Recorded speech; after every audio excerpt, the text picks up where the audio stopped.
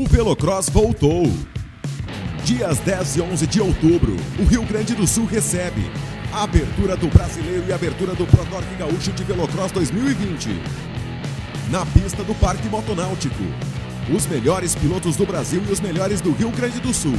Prova seguindo os protocolos do distanciamento, conforme decreto 55444 e 55482. Sem a presença do público, apenas pilotos e acompanhantes. Dias 10 e 11 de outubro, tem Brasileiro e Gaúcho de Velocross em Tupaciretã. Inscrições pelo site evento.sportbay.com.br. Piloto acelere, garanta sua participação.